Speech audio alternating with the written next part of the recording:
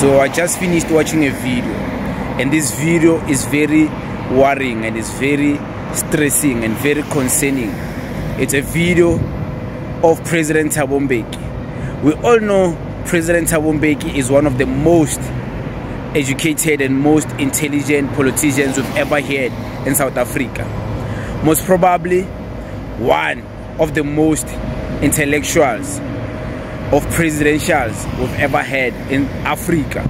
So he was talking about land, he was speaking about land and expressing his thoughts when it comes to the issue of land. So I will play the video and I will let you guys decide what you think about the video and his stance on land. And then I'll also share my thoughts after the video. This is the video. The land shall be shared among those who work it. That is a very well thought out position, strategic position with regard to solving a number of issues here. The national question, the land question, how do we handle it? No, somebody pops up.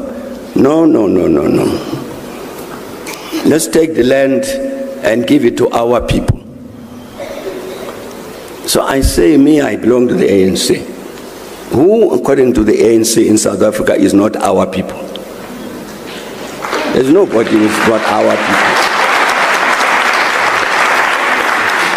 people. So the video you just watched is President Mbeki expressing his opinions about the land based on the constitution.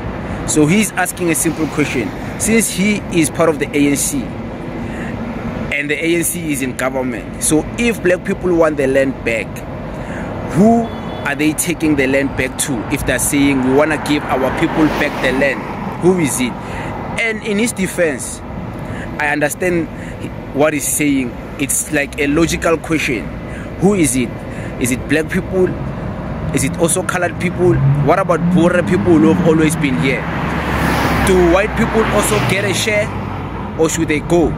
It's a simple question you know but he's also asking it based on him being in the ANC. It's not him being in the MK or the EFF. So the EFF might have a different perspective when it comes to the land because there was a video Julius Malema made about this answering this question but it was in parliament but he was not answering president Thabo Mbeki he was answering this other guy he was like how dare you ask who is our people as a black person knowing very well who our people are you went to the schools of thought learning black consciousness. You learn the struggle and the liberation of black people and yet you still want to ask who our people are.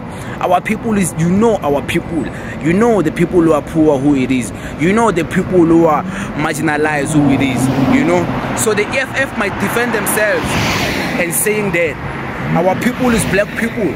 Our people is black colored people. And then president Thabo Mbeki might ask what about white people are they not our people as South Africans? What about poor people? You know? So, not trying to be so biased, but trying to be open minded with this discussion.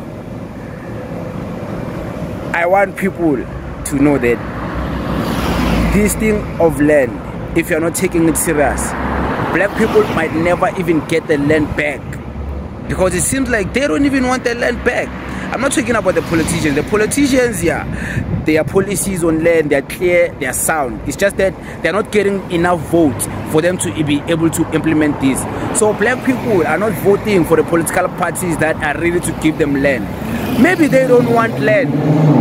Maybe maybe someone would ask, maybe someone like Penuel the Black Pen would ask and be like, I know Penuel the Black Pen wouldn't say it in my voice, wouldn't say it in my articulate. But I know he would ask and say, if black people really want the land, why are they not doing anything to carry? And I also ask the same question, why are they not doing anything to get the land? Maybe they don't want it. So should we just forget about this land thing and move on and focus on other political agendas? Because it seems like black people, they're not serious.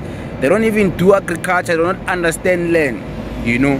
So, yeah, man. Shout out to President Thabo Mbeki but shout out to other political parties that are still fighting this agenda for getting the land back.